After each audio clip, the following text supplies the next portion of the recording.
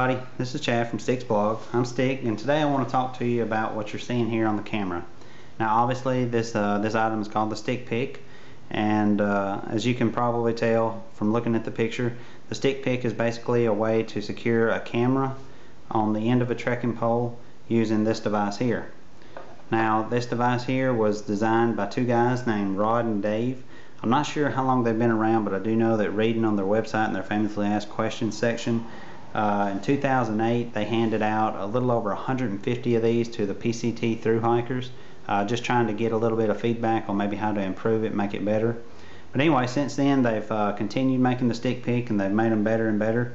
And uh, now, currently, this is the type that they're selling today.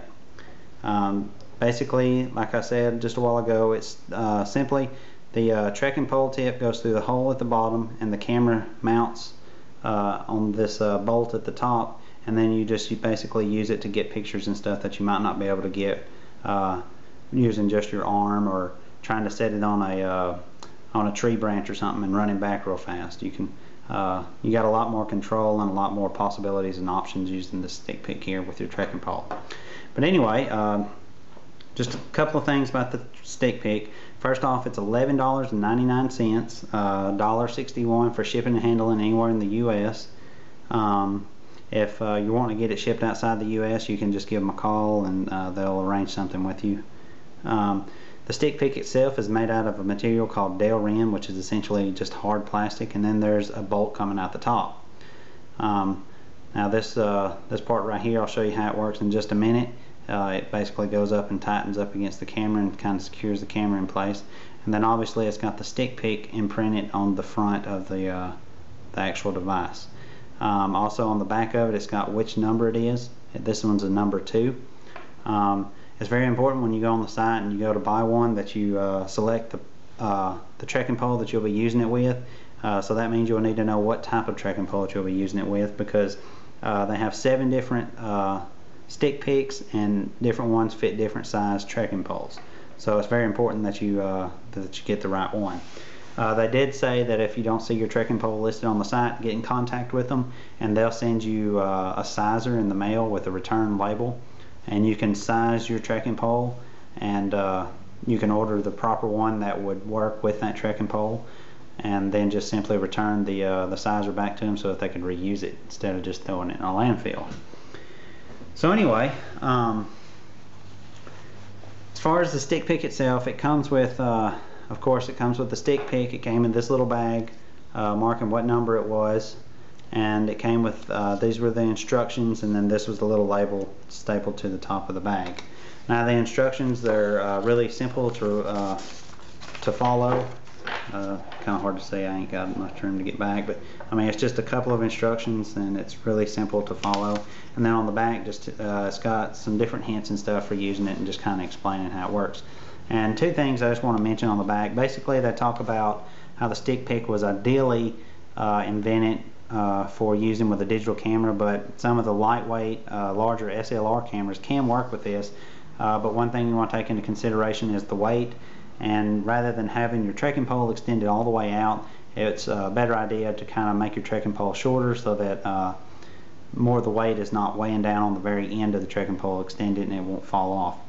Uh, and then also it talks about uh, different cameras have different um, wide angle focal lengths. They made the StickPic and it kind of fits right in the middle of most of those cameras focal lengths.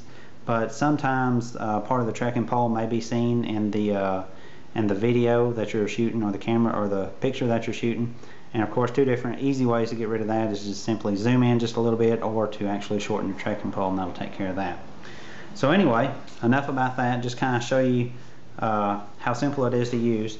Like I said um, the uh, StickPic is not very hard to use at all. Oh, I didn't say, uh, according to the website, this thing weighs, I think, 10 grams. I weighed it on my scale at home, and that's what I got, uh, which is uh, 0.4 ounces, so it's not very heavy at all, a little less than half an ounce. Um, and it's just a really neat thing to have. Um, so anyway, just kind of show you how simple it is to use. The first thing they say is to, uh, of course, uh, thread it into the bottom of your camera, and uh, you, they want you to make two full turns. Well, if I can get it started hard to do this at this angle But anyway, you make two full turns and you stop with the StickPic facing out towards you. Once you do that, you just take this up, you screw this up and you secure it.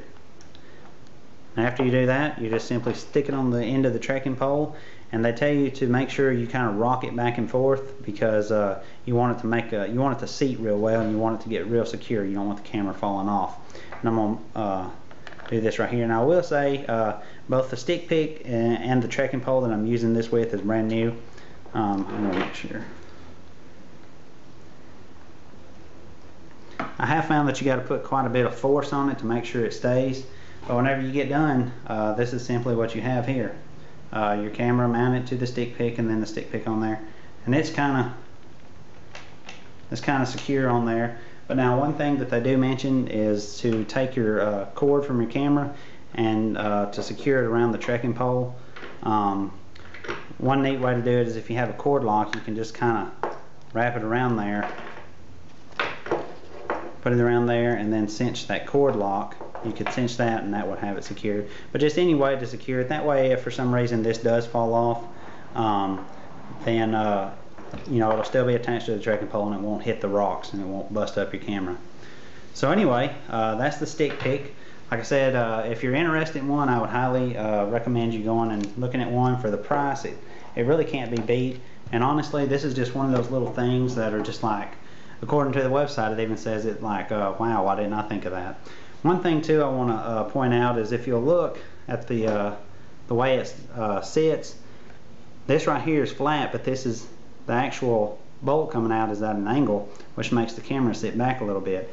But what I found out is that your natural position of your hand when you're holding the camera out, your hand is actually going to be pointed upright just a little bit. And what that does, whenever you hold it, the uh, the StickPic is now at somewhat of an angle because the trekking pole is going up, but what that does is that makes the actual level of the uh, bottom of the camera kind of stand up and be flat. And then it's kind of uh, right on with you. It's uh, it's kind of level. But anyway, um, that's the StickPic. If anybody has any questions, uh, go and check out the website. They've got a bunch of uh, information on the website. And of course, uh, if there's anything that you don't see on the website, you can give them a call, talk to them. Um, but anyway, if you're interested in it, I would suggest you at least pick it up and look at it. Like I say, at half an ounce, you won't even notice it's hardly in your bag. So anyway, thanks for watching, and uh, till next time.